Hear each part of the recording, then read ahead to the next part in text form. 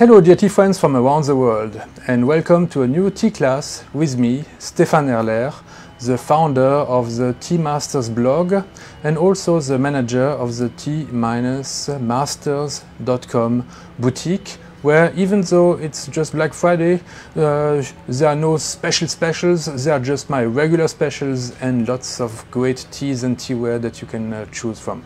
But um, let's uh, move on to uh, the most important thing about today's class, it's the subject. Um, and um, today I will try to, uh, to clarify some uh, heavy concepts in tea like um, Gongfu Cha, Cha Yi, uh, Cha Xi, and finally Cha Dao.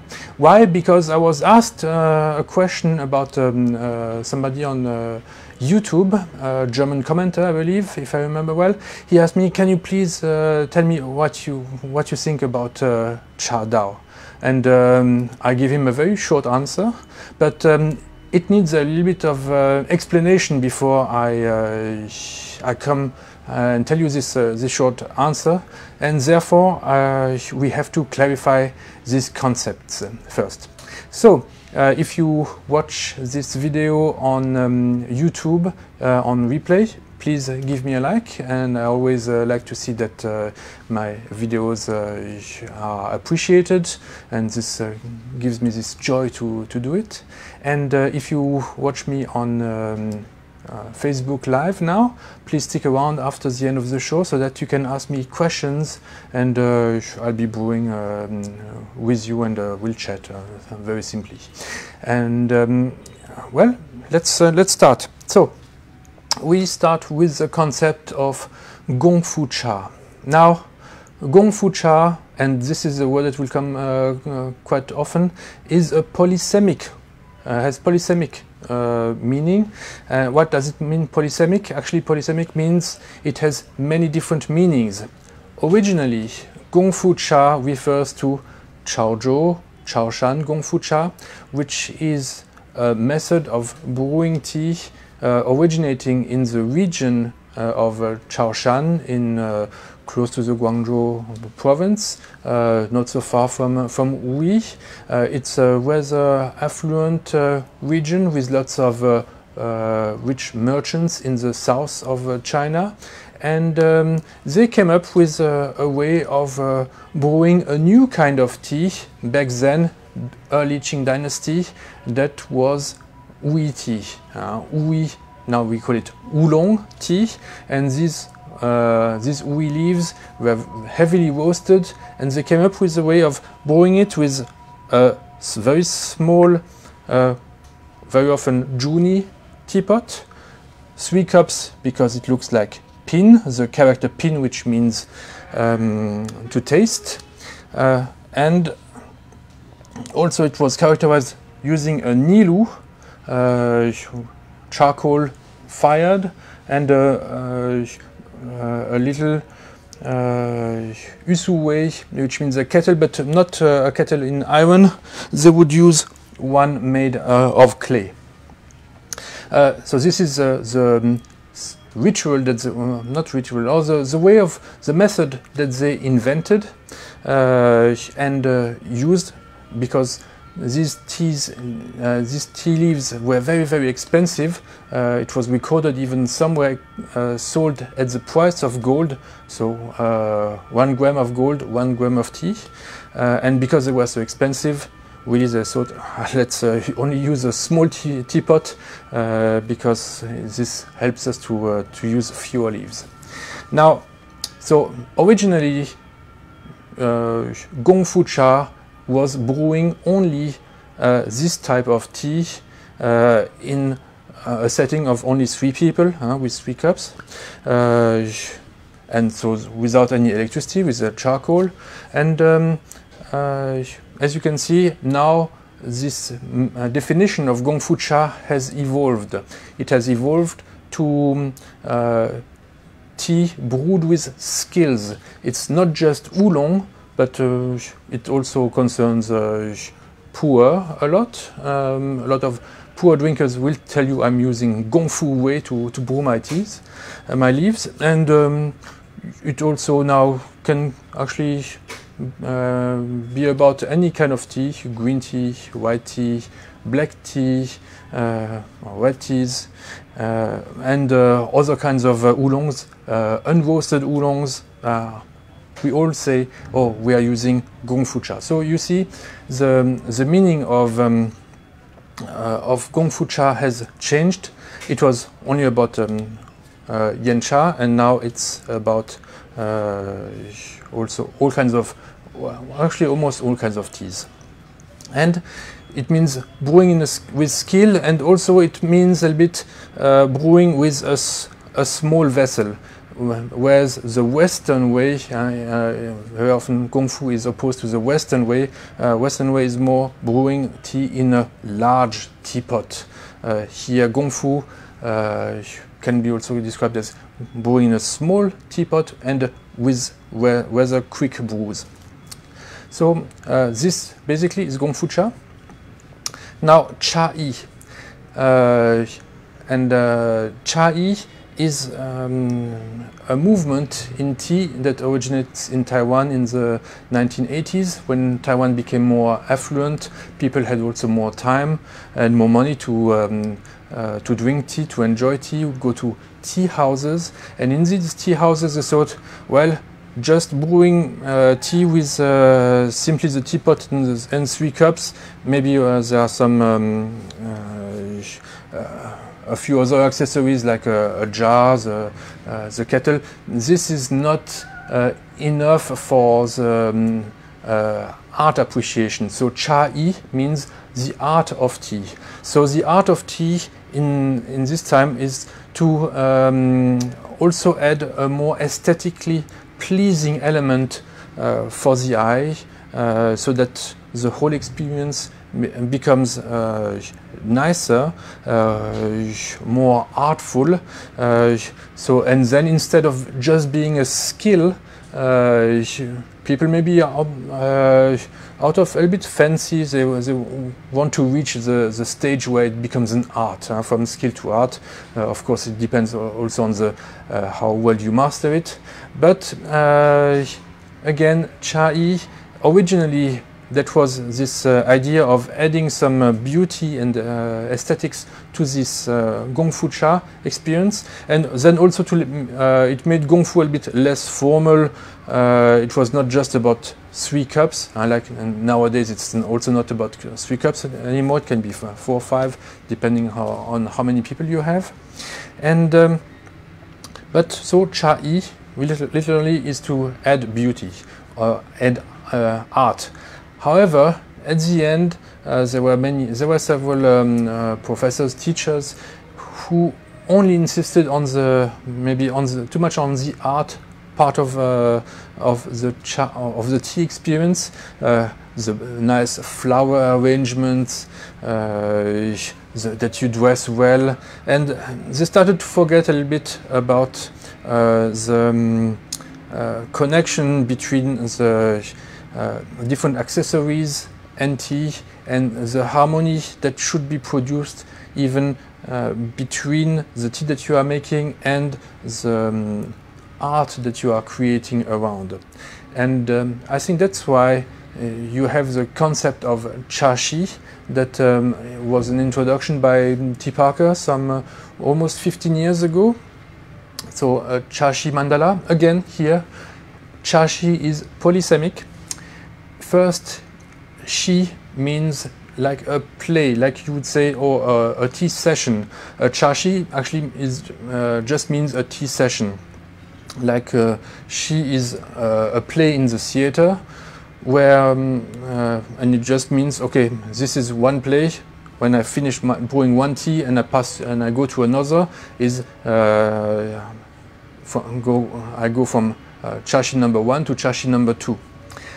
But so in the uh, the idea here, um, in this new meaning of chaxi, it is a bit to go back to the um, original purpose of gongfu, it, uh, that to, to get the most out of the leaves. And not just to get most out of the leaves with your accessories, but also to find a connection with the art that you are creating and the beauty you are creating around. Like today we are, you see a, little bit in a more um, uh, uh, festive mood. Yeah, this is almost the end of the year.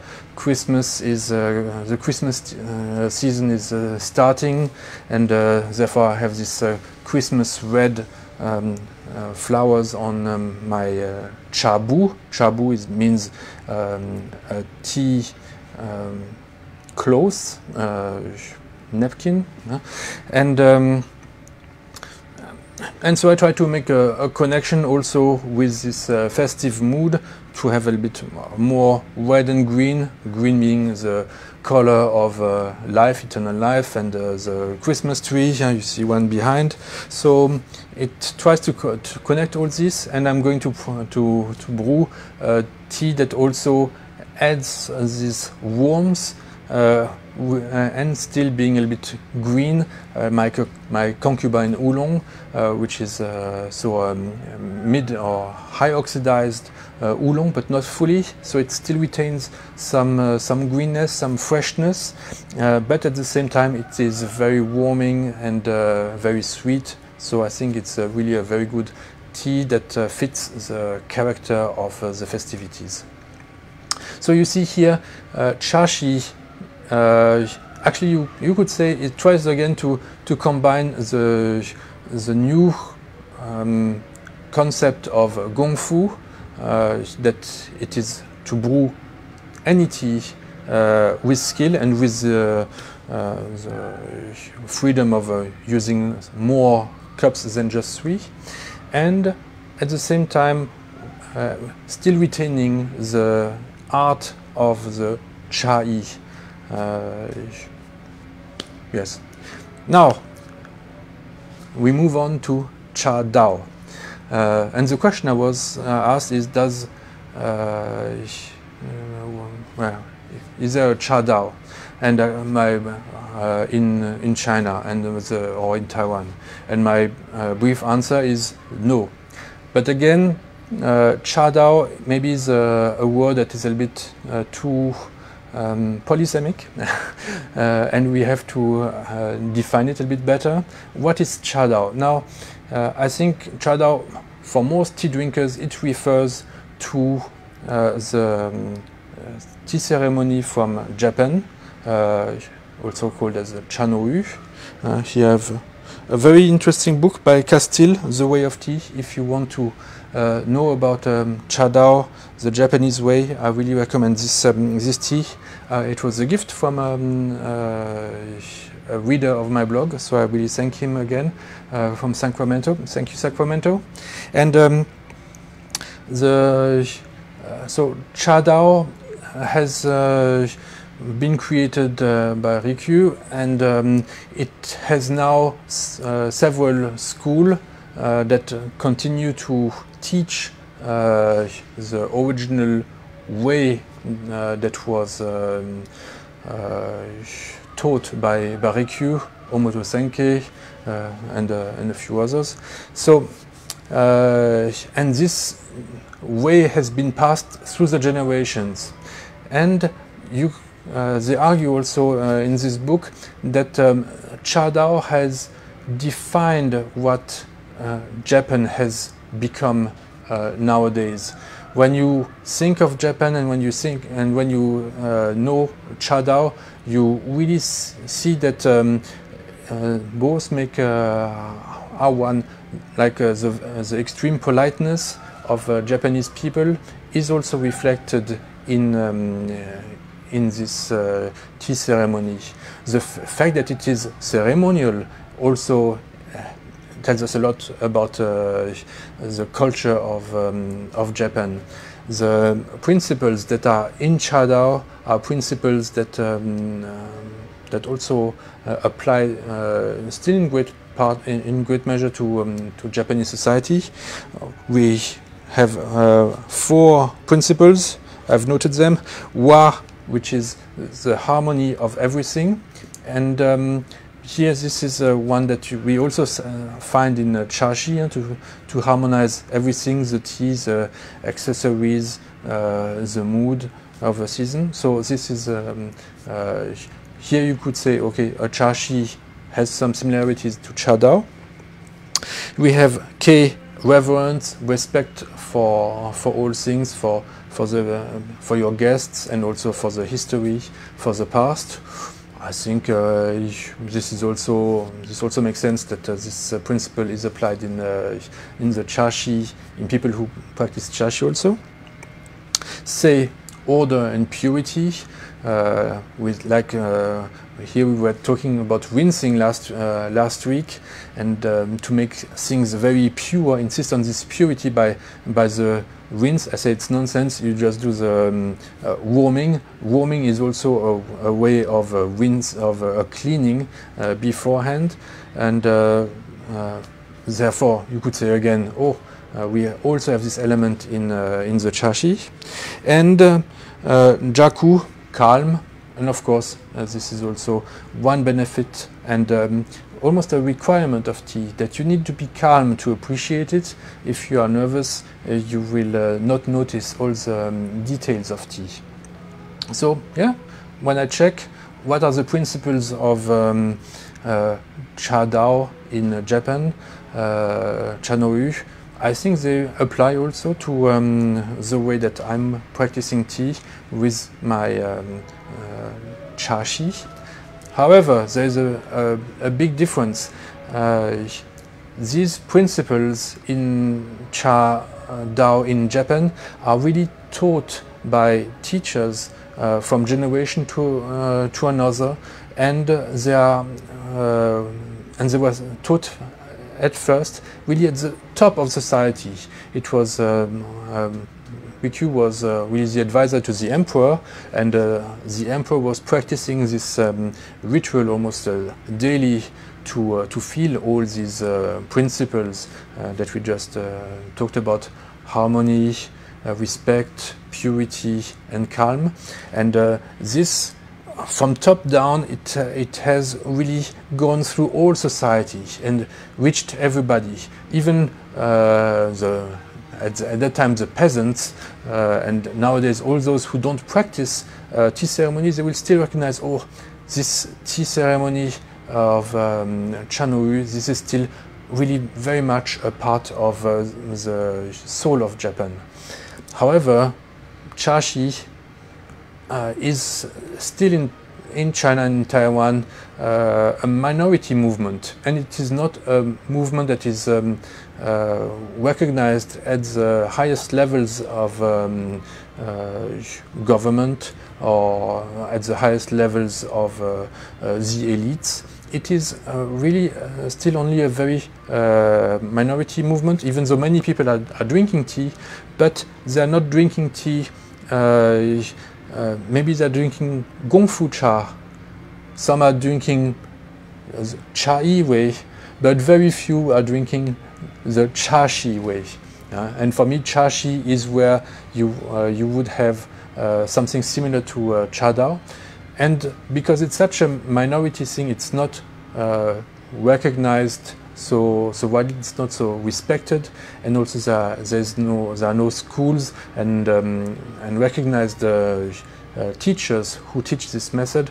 Therefore uh, speaking of cha dao does not uh, does not work for the uh, for brewing gong fu gong fu tea.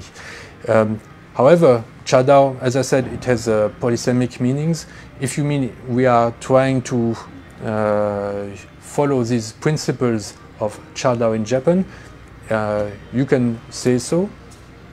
Uh, if you want to say, okay, uh, the tea way, now this is a, a, yet another uh, meaning of uh, Chadao, that uh, it's, it is a philosophical movement or maybe a more um, spiritual movement where you find a spiritual connectedness to nature or to, to yourself.